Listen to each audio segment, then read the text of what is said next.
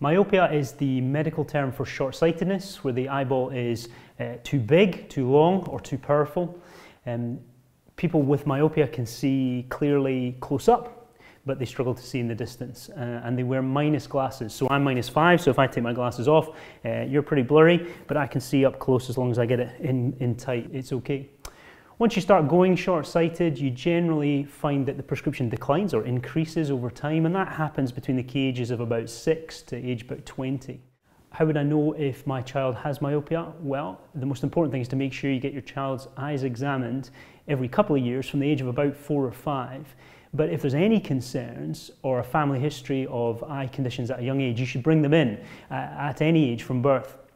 Children might complain of the television being a bit blurry, the whiteboard being a bit blurry at school, the teacher or you may notice them screwing up their eyes to try and see a bit more clearly, um, complaining of headaches, struggling to concentrate, falling behind at school. All these can be signs of vision problems that should be investigated.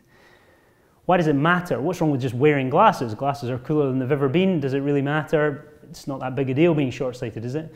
Well, if a child is short-sighted, then they're at risk of deterioration, which means reliance on thicker and thicker, stronger glasses and all the problems that that causes at school and with sports and so on.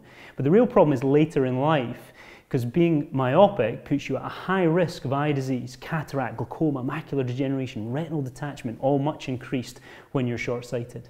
But there is something that can be done to slow the progression of myopia, uh, and that is myopia management. So myopia management aims to slow the progression of myopia in kids by up to 50% uh, using specialised contact lenses. And we're one of only a, a, handful of practices in the country with the expertise and experience to be given access to these latest lenses. Um, and they aim to reduce the progression of myopia by up to 50%. There are kind of two options, two ways of doing this. You have harder lenses that you can wear overnight when sleeping, kind of like a dental retainer, so you take them out during the day. And then you have daily disposable, a daily disposable option for wearing during the day. Um, and both these correct the myopia, so the vision is clearer, but also provide the effect to reduce the progression of myopia through the teens.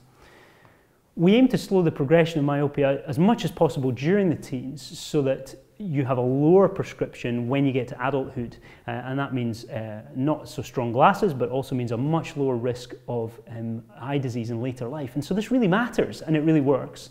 So don't just let your children's myopia increase like yours maybe did or like mine did through my teens, um, just sort of watching and hoping. There is now something you can do, uh, and you can find out much more information on our website or come and see us, uh, and we'll talk you through all the options.